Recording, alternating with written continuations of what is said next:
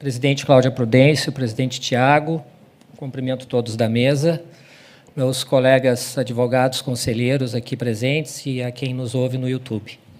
Falar de si, para mim, é uma dificuldade, eu costumo usar a tribuna sempre para falar de um processo, para falar de alguém.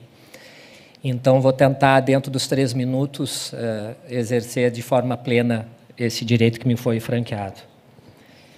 Uh, advogo na área trabalhista com muito orgulho, e só na área trabalhista há 25 anos, um pouco tempo de estagiário também, e me orgulho muito de toda a vida profissional, de tudo que fiz ao longo dessa minha carreira. Por 20 anos dedico meu tempo e minha divido a minha alegria de vida com colegas aqui dentro da OAB. Entrei na OAB para aprender e não saí mais aqui de dentro. E fiz isso e faço isso ainda com muito amor. Exerci, meus colegas, com alguns de vocês aqui, várias gestões como conselheiro, como integrante de TED. Assumi algumas uh, funções de representatividade da OAB perante a minha classe de advogados trabalhistas.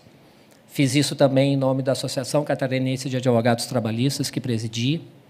Fiz isso também em nome da Associação Brasileira de Advogados Trabalhistas e sempre tentei e consegui, com toda tranquilidade, dizer isso a vocês, pautar a minha atuação de forma extremamente profissional, sem lados.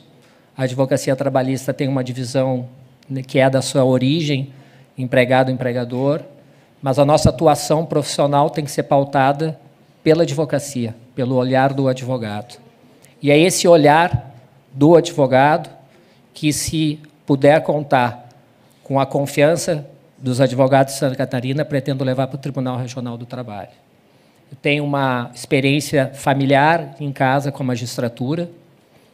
Entendo que a representação do advogado pelo quinto apesar de todas opiniões, algumas não muito favoráveis a, essa, a esse instituto, eh, deve fazer com que coloquemos dentro do tribunal o melhor que a advocacia pode ter dentro dos seus quadros. Temos candidatos aqui, todos eles com muita capacidade de exercer esse mistério, e eu uh, rogo a vocês e peço a vocês, os que me conhecem, aqueles que não me conhecem, que possam ter minha certeza de que, se for para o tribunal, continuarei sendo o mesmo advogado uh, do ponto de vista de receber e tratar os problemas da advocacia, óbvio, agora dentro dos ditames da lei e das normas legais. Obrigado.